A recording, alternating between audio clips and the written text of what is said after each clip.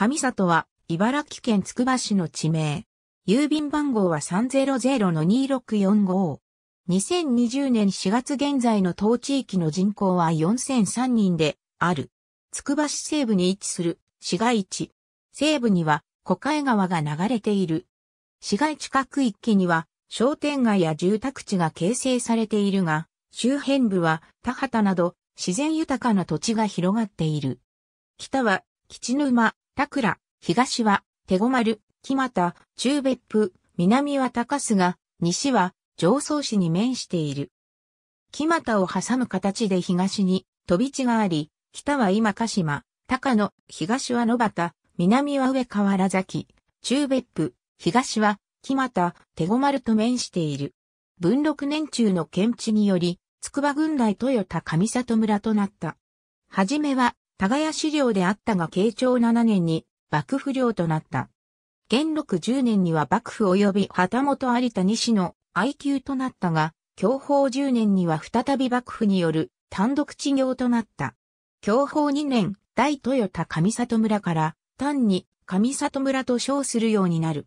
明治2年、若森県の所轄となる。明治8年に茨城県上里村、同11年に筑波郡上里村となる。明治22年に上里村大技上里となり、村役場が置かれた。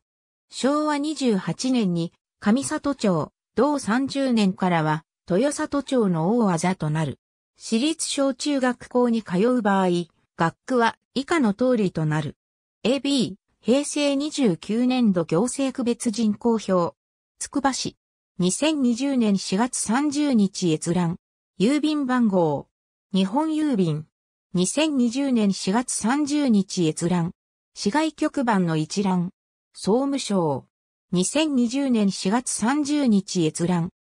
ABCDE 角川書店2009 P312 ABC 沢部1974ピアニッシモ2425 ABCD 角川書店2009ピアニッシモ312-313令和2年度行政区別人口表つくばし公式ウェブサイト www.city.tsukuba.lg.jp 2020年4月30日閲覧。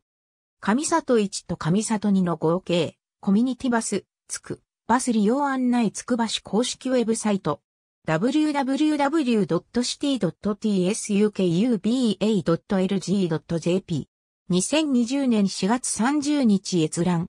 ありがとうございます。